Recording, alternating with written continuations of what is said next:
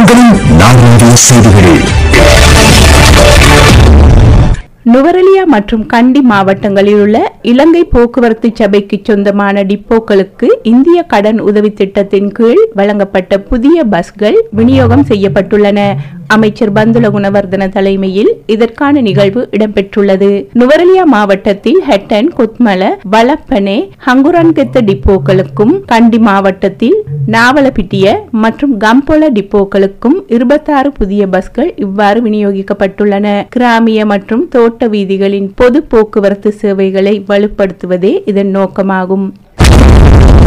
அம்பாறை மாவட்டத்தில் கரையோர பகுதிகளில் உள்ள வீதியோரங்களில் சர்க்கரை வெள்ளரிப்பழ விற்பனை அதிகரித்துள்ளது. சம்மாந்துறை அம்பாறை கல்முனை அக்கரைப்பற்று பிரதான வீதியோரங்களில் சர்க்கரை வெள்ளரிப்பழ வியாபாரிகள் அதிகரித்துள்ளனர். தற்போது அதிக வெப்பம் காரணமாக அம்பாறை மாவட்டத்தில் சர்க்கரை வெள்ளரி பழங்களுக்கு அதிக கிராக்கி ஏற்பட்டுள்ளதுடன் வெள்ளரி பழம் ஒன்று நூற்றி ஐம்பது ரூபாய் முதல் எண்ணூற்று எண்பது ரூபாய் வரை விற்பனை செய்யப்படுகிறது. மட்டக்களப்பு மாவட்டத்தின் கிரான்குளம் செங்கலடி கழுதாவளை ஆகிய பகுதிகளில் பெரும் அளவிலான வெள்ளரி பழச்செய்கை பண்ணப்பட்டுள்ளது. இவை ஏனைய பிரதேசங்களுக்கும் விற்பனைக்காக எடுத்துச் செல்லப்படுகின்றன. இவற்றை பனை ஓலையில் மிகவும் பாதுகாப்பான முறையில் கட்டி விற்பனையாளர்கள் விற்பனை செய்து வருகின்றனர். யாழ்ப்பாண சிறைச்சாலையில் கைதிகளின் பாவனைக்கென நூலகம் ஒன்று திறந்து வைக்கப்பட்டுள்ளது. யாழ் பல்கலைக்கழக துணைவேந்தர் பேராசிரியர் எஸ். சத்குணராஜா இதனை திறந்து வைத்துள்ளார். யாழ்ப்பாண பல்கலைக்கழக நூலகத்தின் ஏற்பாட்டில் யாழ் சிறைச்சாலையில் நூலக நியமங்களுக்கு ஏற்றவாறு இந்த இரண்டாயிரத்து ஐநூறு புத்தகங்களை கொண்ட நூலகம் திறந்து வைக்கப்பட்டுள்ளது. இந்த நிகழ்வில் யாழ் பிரதேச செயலாளர் யாழ் சிறைச்சாலை அத்தியட்சகர் உள்ளிட்ட பலரும் கலந்து கொண்டிருந்தனர். இந்நூலகத்தை தொடர்ந்து முன்னெடுத்துச் செல்வதற்கான முழுமையான பங்களிப்பை யாழ்ப்பாண பல்கலைக்கழக நூலகம் வழங்க உள்ளமை குறிப்பிடத்தக்கது.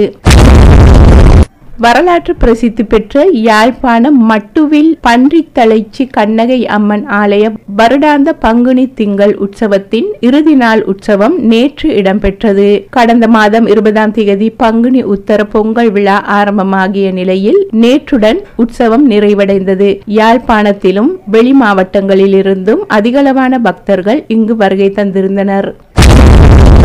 சித்திரை புத்தாண்டு காலத்தில் பட்டாசு கொளுத்தும் போது விலங்குகள் பாதிக்கப்படாதவாறு நடந்து கொள்ளுமாறு பொதுமக்களிடம் சுற்றாடல் ஆர்வலர்கள் கோரிக்கை விடுத்துள்ளனர். சில வகையான ஒளி எழுப்பும் பட்டாசுகள் விலங்குகளின் கேட்கும் உறுப்புகளை பாதிப்பதாக அவர்கள் சுட்டிக்காட்டியுள்ளனர். அத்துடன் சில விலங்குகள் பட்டாசு சத்தத்திற்கு பயந்து வீதியில் ஓடுவதனால் விபத்துக்களில் சிக்கும் வாய்ப்பும் காணப்படுவதாக சுற்றுச்சூழல் ஆர்வலரான நயனக ரன்வெல்ல தெரிவித்துள்ளார்.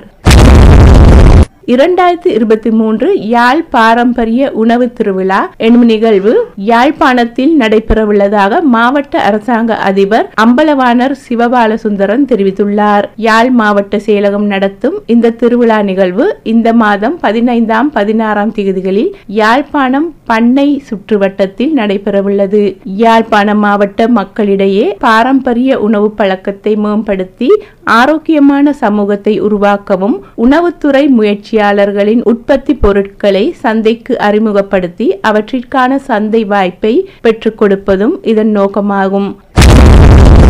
புத்தாண்டு காலப்பகுதியில் நெரிசலான இடங்களில் பணப்பை கொள்ளையர்கள் தொடர்பில் அவதானமாக இருக்குமாறு போலீசார் மக்களை அறிவுறுத்தியுள்ளனர். மக்களின் பாதுகாப்பு கருதி வீதி தடைகள் ஏற்படுத்தப்பட்டுள்ளதுடன் புலனாய்வு அதிகாரிகளும் சிவில் உடையில் உத்தியோகத்தர்களும் கடமையில் ஈடுபடுத்தப்பட்டுள்ளனர். மதுபோதையில் வாகனம் செலுத்துவோரை கைது செய்வதற்காக போக்குவரத்து உத்தியோகத்தர்கள் ஈடுபடுத்தப்பட்டுள்ளதாகவும் போலீஸ் ஊடக பேச்சாளர் தெரிவித்துள்ளார். குரல் தயாரிப்பு பிரியதர்சினி செல்வதுரை ஐந்து நிமிடங்களில் நான்கு செய்திகள் இது செய்தி பிரிவின் தயாரிப்பு